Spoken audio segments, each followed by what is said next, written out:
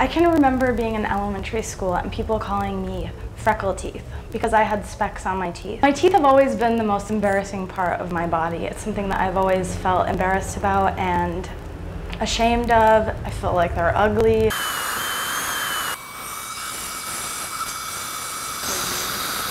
Now I feel like I can be pretty.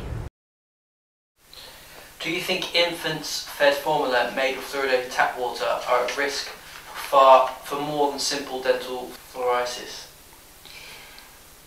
Absolutely.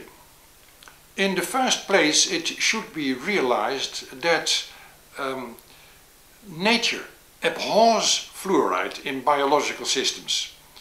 That is why breastfed children receive hardly any fluoride. The body of the mother tries to filter it out.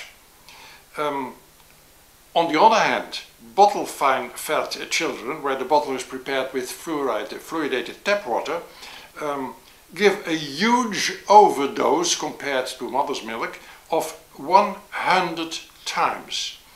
Um, the question of uh, is it more than simple fluorosis of the teeth that's the trouble? Because it's a disfigurement but it's only the teeth. Yes indeed you cannot speak about a simple disfigurement. Uh, when you see fluorosis of the teeth, these nasty black patches, uh, then you know that the whole body has a low-grade chronic poisoning of fluoride with all the dangers implied. This is a meta-analysis published in the July 2009 Journal of the American Dental Association.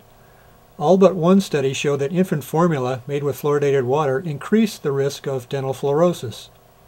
This table is from the Institute of Medicine, published in 1997. It shows that infants need very little fluoride. Some infants on formula will exceed the tolerable upper intake level. The current CDC dietary fluoride supplement schedule recommends no additional fluoride for infants, no matter how little fluoride is in their water or food. The American Dietetic Association should consider fluoride when making recommendations on the preparation of infant formula.